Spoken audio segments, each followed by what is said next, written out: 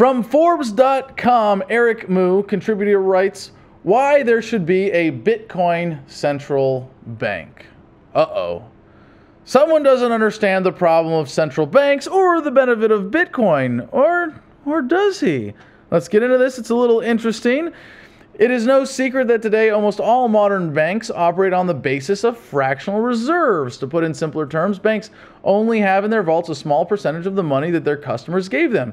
If too large a number of customers of a specific bank wanted to get their money back at the same time, the bank wouldn't be able to satisfy the demand. Before there was a modern central bank system, the bank would either have to borrow the funds from elsewhere or file for bankruptcy. The central banks, in theory, have an infinite ability to lend by conjuring up money from thin air because they're backed by government regulation rather than a commodity like gold or silver.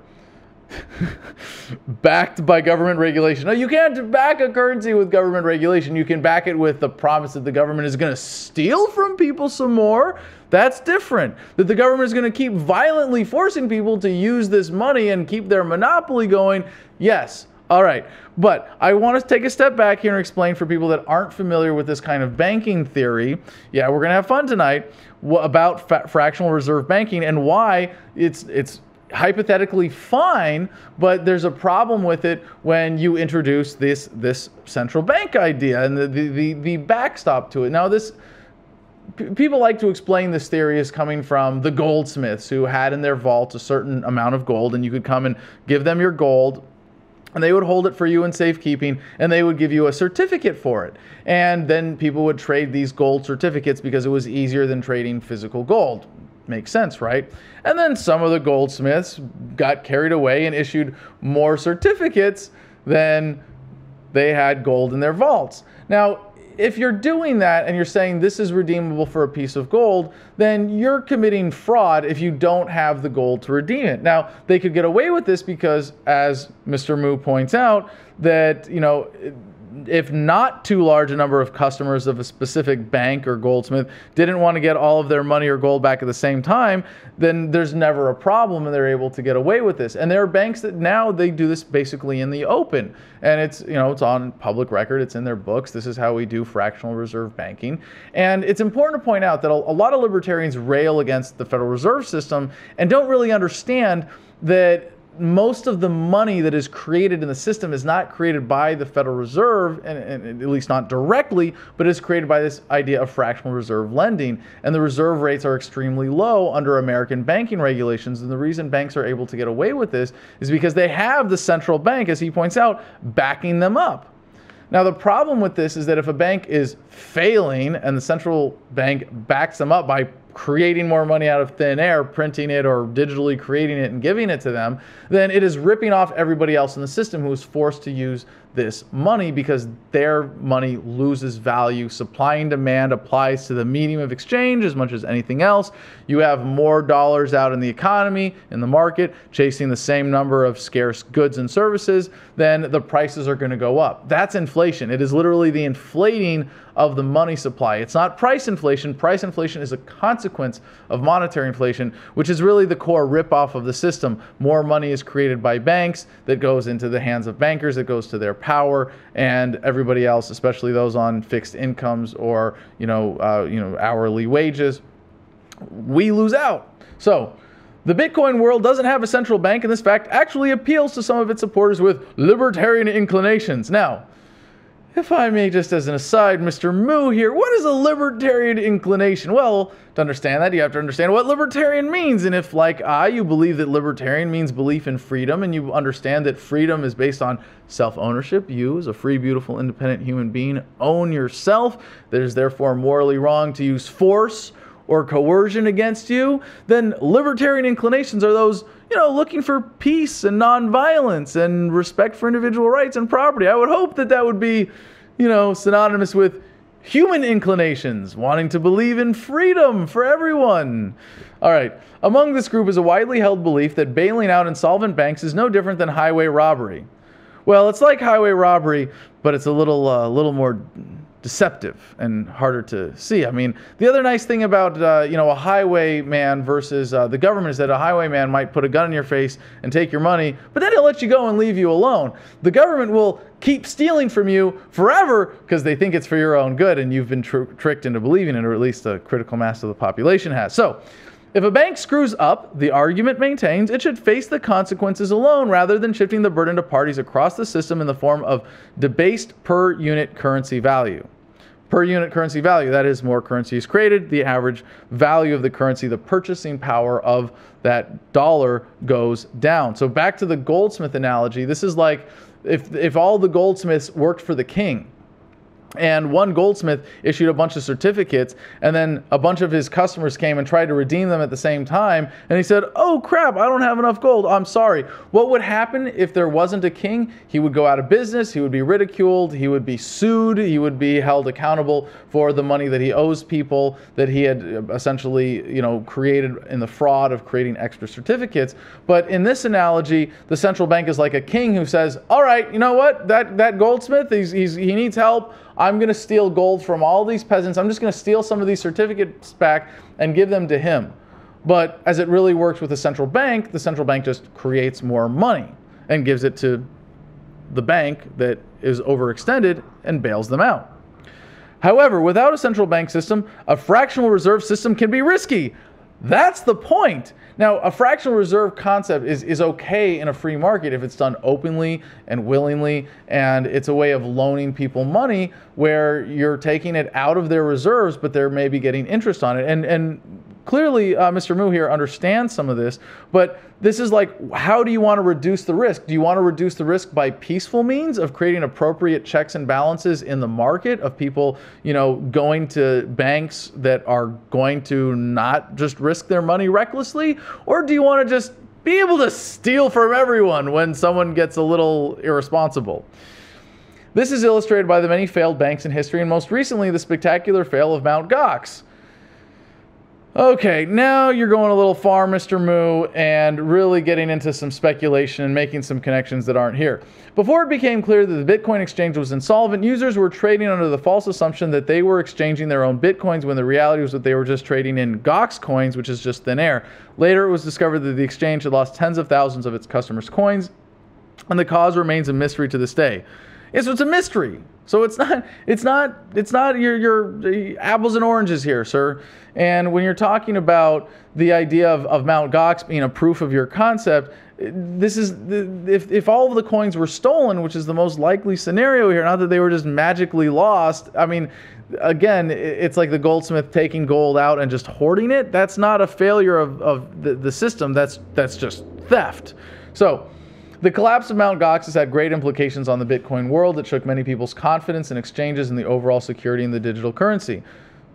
Yeah, but it shouldn't have. I mean, in exchanges, I mean, it's sort of like one exchange has a failure or is the victim of theft, then yeah, I mean, you might look a little more closely at other exchanges, but even the benefit of them is better than you know not using them at all for most people. So the security of the digital currency, no, not really. If you don't understand it, you might go, "Oh my god, an exchange failed. Bitcoin is not secure." But if you understand that Bitcoin is a decentralized cryptocurrency based on the blockchain, you understand that the failure of Mt. Gox doesn't threaten the security of Bitcoin itself at all.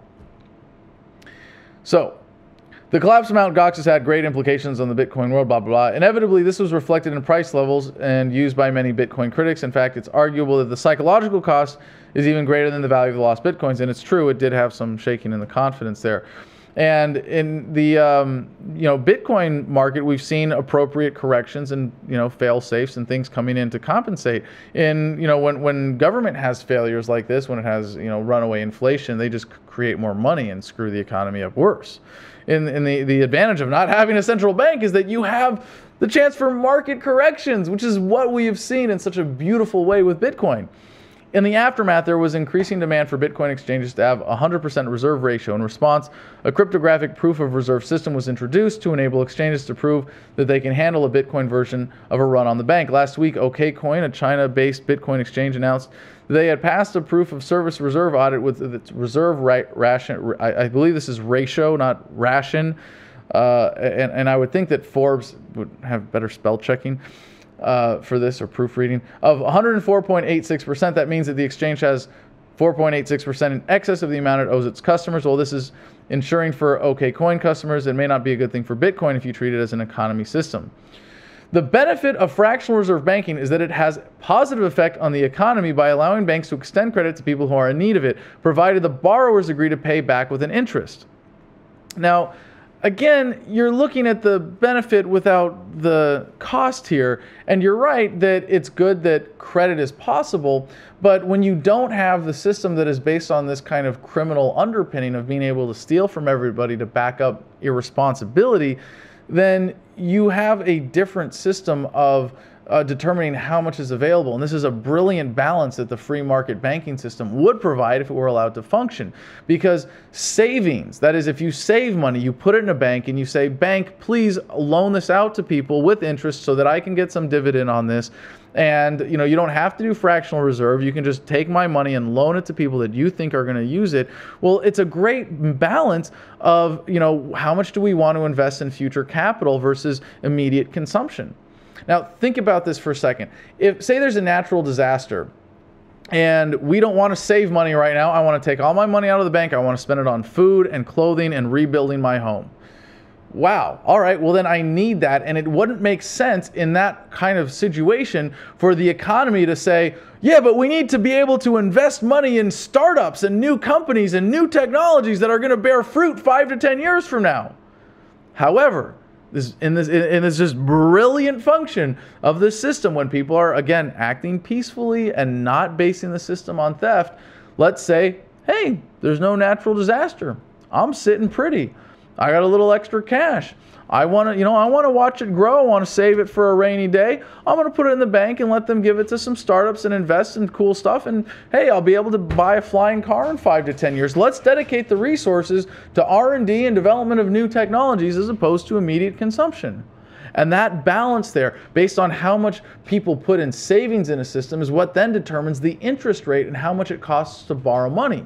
So if nobody, if, if banks don't have a lot of money in reserves and savings, then there's not a lot of money that's available for a borrower to borrow for a startup. And it's sending them the signal like, hey, the interest rate's going to be really high. Therefore, you shouldn't borrow that much money. Maybe you should focus on more immediate needs for people.